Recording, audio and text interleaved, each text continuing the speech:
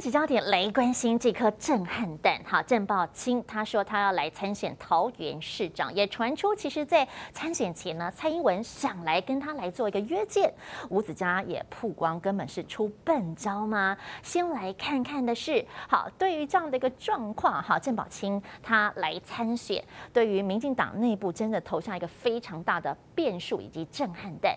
来看谢龙介就分析了，他说郑宝清是不是压倒民进党最后的一根稻草呢？因为包含了论文案，包含了杀警案，民怨非常深，非常的沸腾，大家都很不高兴这个政府的所作所为。只是火不知道不晓得要从哪里来点燃。现在来看到是他认为民进党实在太傲慢了，态度不行啦，要钳制网络的言论自由，更是直接烧到了年轻人。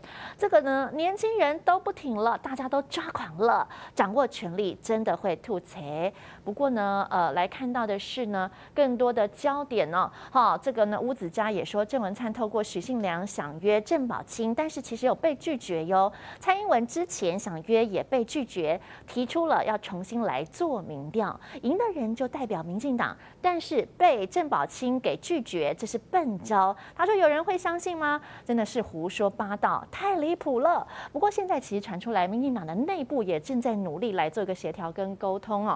包含了这个民进党中评会的主委赖瑞龙就说了，现在还在做最后的努力的沟通，希望不要造成心痛愁愧，希望不要因为郑宝清出来的参选，所以呢影响到民进党整个呃绿营的选情。但很多网友，包含绿营的支持者，他们都很不给面子，认为是背股，而且不自量力。也有人说，到底你这样出来参选，你什么时候要退党呢？什么时候退出民进党呢？也有绿营的支持者说，背股没有一个选得上了啦。我来看郭正亮的。分析好，郭正亮说，郑宝期希望比照台北市长黄珊珊的模式，用无党籍参选桃园市长。赖香林也愿意来退让，不过要求郑宝清加入民众党。问题就是卡在这边，也就是说呢，这个郑宝清有没有可能跟白民众党来合作？好，这有待关注。立委蔡碧如则是说，整合机会并不大，还在谈，下周就会知道结果。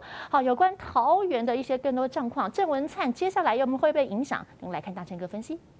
我看到郑运鹏讲说要让郑文灿进行政院、进总统府哦，然后看到民进党的发言人黄彩玲说，这就是郑文灿团队的努力成果跟满意度的一个延续。我如果是郑文灿，我应该听了背脊在发凉吧？因为这些话代表什么意思哦？这些话代表的，我帮大家用白话文解释，就是如果你跟郑文灿一样想要进行政院跟总统府的，你绝对不要让郑运鹏当选哦，因为如果郑运鹏当选了。代表郑文灿有战功了，郑文灿就可以进行政院跟总统府了。这句话讲来，民进党有多少人想进行政院当院长啊？所以郑文灿也是很多人的障碍。嗯，那在这种这种宣誓之下，你不是提前开打了民进党的接下来二零二四这个二零二二的行政院跟二零二四的总统大选的这个前哨战，马上就开打了，而且直接就讲出来。对，然后这这对第二点哈，你你从这个发言的内容哦，就他等于是把。呃，郑文灿跟这个郑运鹏牢牢的绑在一起哦。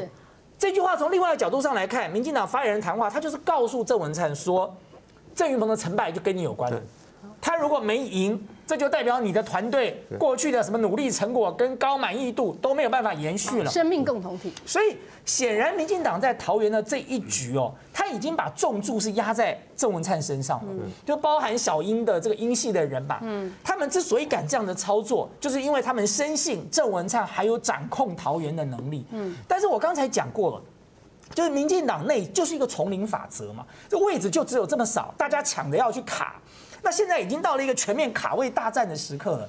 我讲的更直白一点，大家真的认为林志坚这么多的资料是国民党找出来的吗？当然不是啊，林志坚这些资料绝对不会是国民党找出来的，这一定是他们自己人很熟林志坚的朋友才会知道他整个求学的过程。他在中华大学念完了，他又去国法所念了，这些资料早就收集好了吧？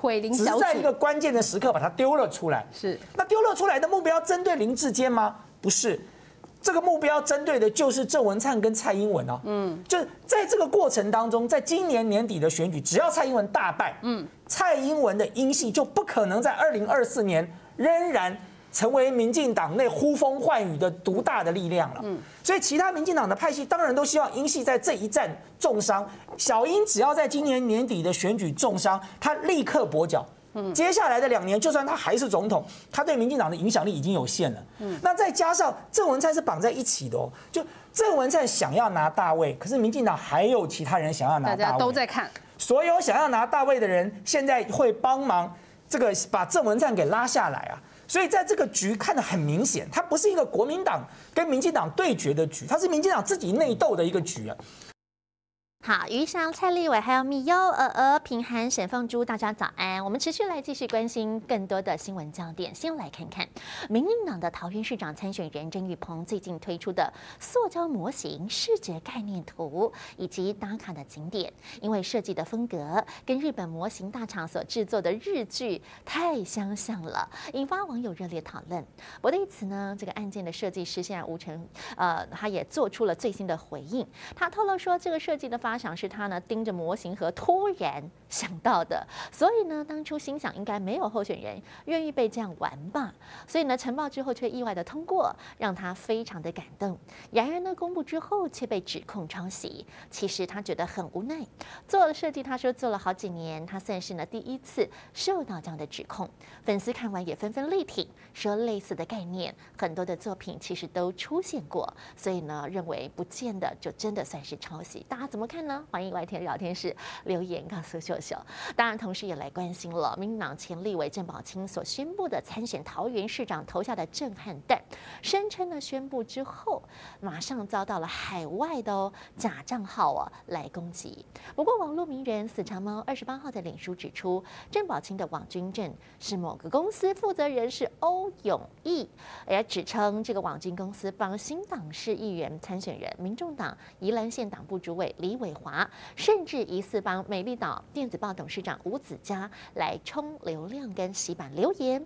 好，四叉猫就说欧永义的新闻相当多，疫情呢期间贩售大陆口罩一个十元之类的，而且从欧永义的脸书上可以发现，去年十月就接到了市长的网军的。选举案去年就接到喽，大家来科普一下哦，这个水神呢，跟病毒细菌作用之后呢，会还原成水哦，不会感染，也不会影响到你的皮肤，所以小朋友、孕妇也适用。